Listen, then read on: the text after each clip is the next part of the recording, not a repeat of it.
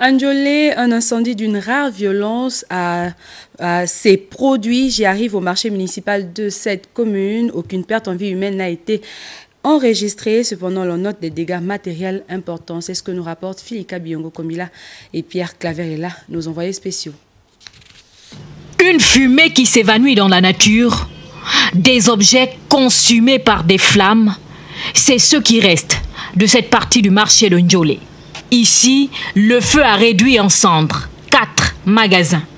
Il y avait le quincaillerie, il y avait le Michelin, il y avait des boîtes d'hiver. Il y avait tout là-dedans.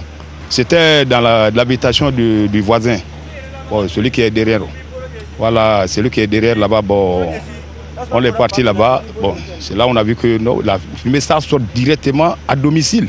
Pour la brigade de la localité, il s'agirait d'un court-circuit dû à des branchements anarchiques. Dans tous les cas, une enquête est ouverte. C'est la deuxième fois que le marché municipal de Ndjolé enregistre ce genre d'incendie d'une rare violence.